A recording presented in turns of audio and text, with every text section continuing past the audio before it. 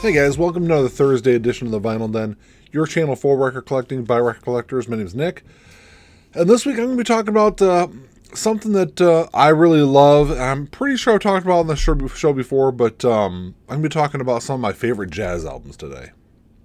If you haven't done so yet, make sure you click on the link below and go check out our Facebook group. Um, you know, also make sure you click on the uh, subscribe button and get the uh, hit the notification bell also, so you get uh, alerts every time we release an episode, which is every Thursday and every Sunday.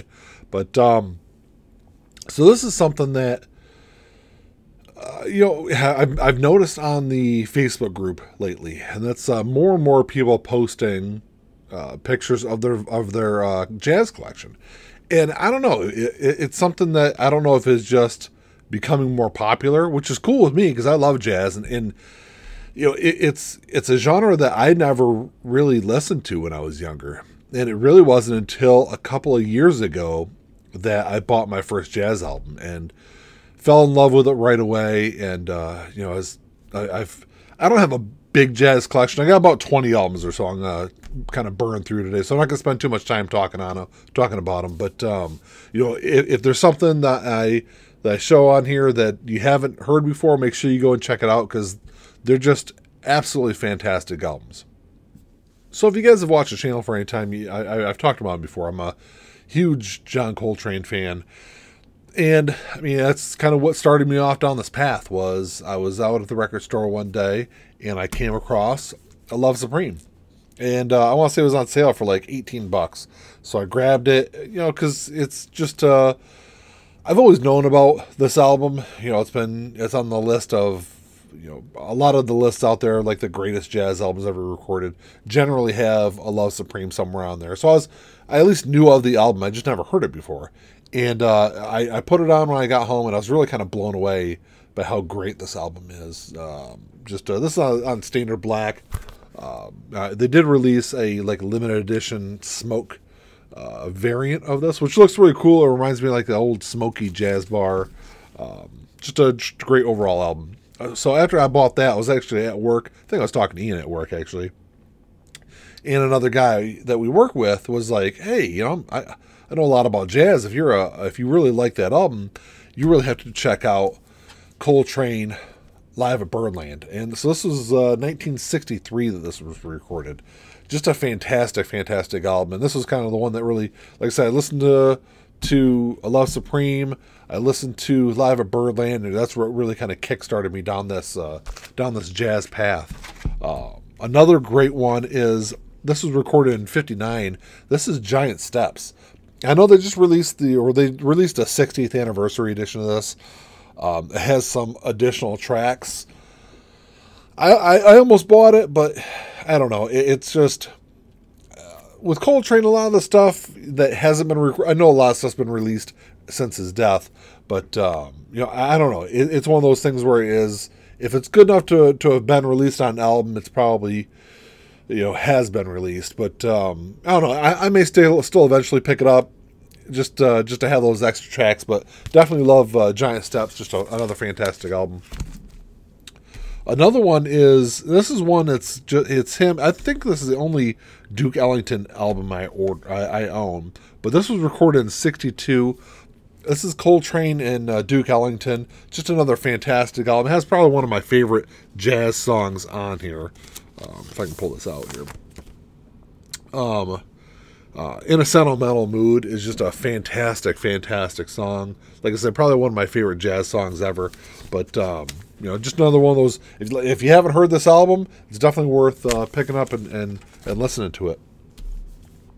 Uh, Lush Life is another one. This was recorded in, in 57. Uh, 57 was kind of a big year for John Coltrane. Um, he released an album with Thelonious Monk, which is a fantastic album, which I'm going to get to eventually. Um, he recorded uh, Lush Life. He recorded um, what else? Uh, did uh, I know that I'm I know I'm missing one, but um, I don't know. There's a couple of really great albums he was a part of in 1957, and Lush Life is definitely another one of those perfect, you know, perfect kind of recordings. And this is kind of cool. I think this is the only colored uh, Coltrane album I have. This was uh, this is obviously a reissue, This is on Prestige. It's just a blue, blue vinyl, kind of cool looking. Uh, like I said, I think this is my only colored uh, uh, Coltrane album. A couple more here. This was um, this is from 1959. This is uh, Coltrane Jazz. I don't know what this is a reissue, and I was never actually able to find this the the year on Discogs, but uh, I'm not sure because obviously this is not an original. I don't think any of my I, I don't have any original press and Coltrane albums, but um, you know, Jazz just a overall kind of great album. It was on uh, Atlantic. Um, this is uh, from 1962. This is on Impulse. He did a lot of stuff on Impulse. This is Coltrane. This I just recently. I think this is probably my most recent Coltrane album I picked up. Um, like I said, just a kind of overall, just a great, great album. This is uh, got some really nice packaging to it too. This is one of the few like gatefold Coltrane albums I have. Kind of gives a little bit about the album, the guys that played on it. You know, just uh, just kind of cool little package. Oops. Um, this this other one, the next one is this is the only album that John Coltrane ever recorded for Blue Note. This was the other album. This is the other 1957 album I was trying to think of, and that is, of course, how could I miss out on on uh, Blue Train? Just an absolutely great, uh, great album. Like I said, 1957 was a huge year for John Coltrane with uh, Lush Life, Blue Train, the the album with uh, with Thelonious Monk. There was also um, something else I'll get to in a minute that uh, Coltrane was part of. It was uh, probably one of my favorite jazz albums ever. But uh, the the last Coltrane album I have is this is the this is the Lost album. This was recorded in '63, and I don't know. I was, I was kind of torn on this. This is one of the things.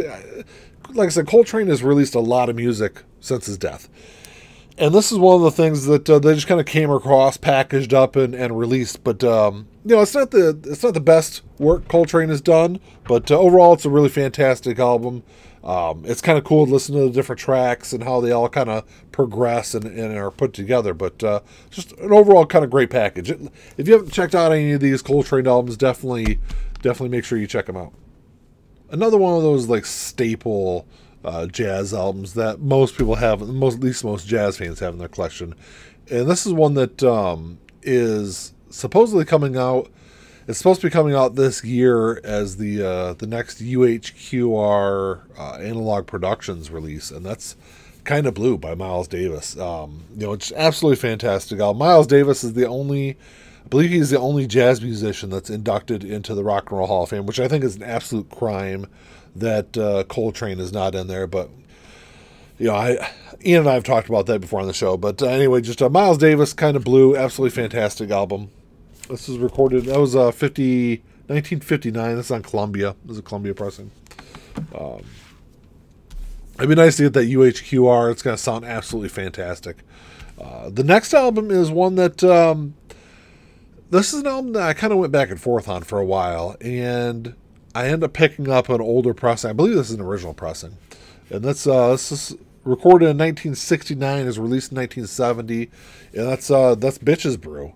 Um, you know, it's a different kind of, of jazz. Was, Miles Davis was definitely, uh, you know, kind of experimenting a little bit more with his jazz style. Um, you know, there's some, uh, it, it's different from a lot of his other works, especially if you're used to listen to kind of blue and then you go listen to Bitches Brew. It's uh, definitely a different kind of album, but it's, uh, I definitely, it's grown on me over the last couple years for sure. And then I also picked up the Bitches Brew. This is a double image. Is that what it is? Yeah, double image. This was the record store day release from last year. I kind of went back and forth on this too, and I was talking to a couple of guys in line. I wasn't going to get it, um, but they kind of convinced me. They're like, "Hey, you know, if you're a jazz fan, you had Bitches Brew, definitely check this out." And I'm glad I did because it is a great, it is a really good album. I don't think it's as good as Bitches Brew, but um, you know, it's definitely a great companion piece for sure. Uh, the next one is one that uh, is an, another album that's always on the top lists of uh, of best jazz albums, and it's one that I just recently got, and that's uh, "Time Out" by Dave Brubeck Quartet.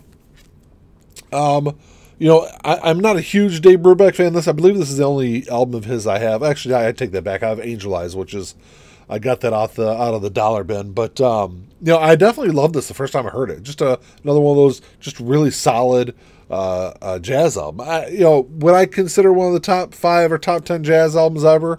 Probably not. But um, you know, it's definitely it definitely belongs in that conversation at least.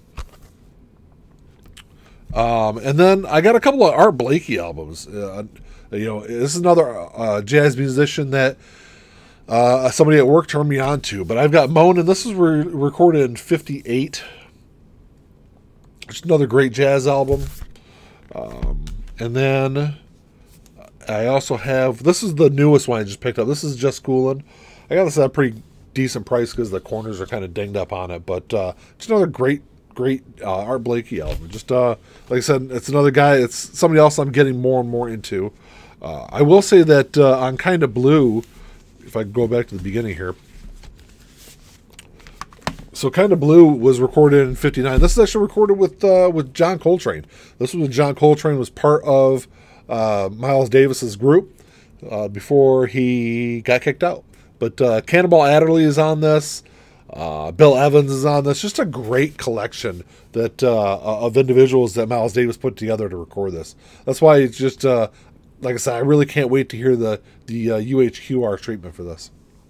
So last five albums I have are all Thelonious Monk albums, and Thelonious Monk is probably my second favorite uh, jazz musician. And these are ones that have some interesting stories to it. The first one is one that I talked about in a previous episode. This is Palo Alto. This was just released uh, last year, I believe it was. And this was a recording from uh, 1968. Uh, I know I talked about it on a previous episode, but uh, this was, if you don't know the story, it's pretty cool. There was a kid, he was in high school, Palo Alto, California, was a big jazz fan was putting on a benefit concert at his show, uh, wrote to um, the Thelonious Monk's manager and asked him to show up at the show. And uh, he was actually kind of surprised that he did. And this was a recording that uh, no one knew about until uh, just recently. I, I, believe it was the. Uh, I think it was the janitor that actually recorded this. There's actually the whole story inside the gatefold. It's actually kind of cool to kind of go through, and, and there's a booklet booklet in there, and some other like uh, you know replicas. I think there's a replica um, poster from the show that's in here also. Just kind of some cool stuff and a cool little story. But um, you know, definitely a great album to to check out for sure. The next one is one that I picked up on uh, at Record Store Day. I think it was last year. It was either last year or the year before. I don't, actually. I can. It's probably printed on here somewhere. Uh, it just says Record Store Day, so I'm not sure what year it is. My, my French is really bad, so this is uh, Palais de Beaux-Arts, I think is how you say how you pronounce that. Like I said, my French is terrible. But anyway, just a fantastic uh, album. This was one that uh, I think Vinyl Me Please just released a really cool looking splatter, um, a splatter version of this. Uh, someone on the Facebook group, I believe, has it and posted it. It looks pretty cool. I kind of went back and forth on it. I ended up just kind of sticking with the uh, with the with the uh, record store day version of it. You know, it's a great album, it's one I probably don't need multiple copies of. But anyway, it's uh, just a fantastic album. Uh, this next one is one that um, Mobile Fidelity did a, a, release of this a couple of years back before I got into jazz. And now that I love this album, it's one that uh, I'll never be able to find the the uh, MoFi version of it, and that's um that's Monk's Dream. This was re- recorded in '62. Um, you know, just another great album. Just an overall, just fantastic album. It's one that you kind of I love tossing jazz music on and kind of going about my work. You know, kind of puts me in the right frame of mind, especially when I'm doing like schoolwork and things like that. But uh, just a great, great album. then the last two are ones with John Coltrane. Um, so in in '56, I think it was like late '56. John Coltrane was fired from Miles Davis's group, and he latched on with uh, Thelonious Monk. And in early '57, they recorded Thelonious Monk with John Coltrane, and this is a fantastic album. This was actually, I believe, um, I think this album was actually inducted into the Grammy Hall of Fame, I believe. Um, or it might have been the Music Hall of Fame. It's one of the Hall of Fames this album has been included in. Just a just a great album. Uh, it's not as good as the next album I'm going to talk about, but um, you know, just a they definitely did some great work together. Um, it, this was really early on in their relationship when they recorded. That. I want to say it was like April, May '57, something along those lines. But once they got around to the end of 1957, there was a benefit concert put together. Uh, I don't remember who put it together, but it was like a who's who in the jazz world that was going to be at this benefit concert. And it was done on November of 1957. It's for Thanksgiving. And this concert that was put on, the, the, the this these acts that was put together, there's two acts that, that, that Thelonious Monk did during that show. And both of them were kind of in legend. You know, people talked about it, but there was never a recording of it.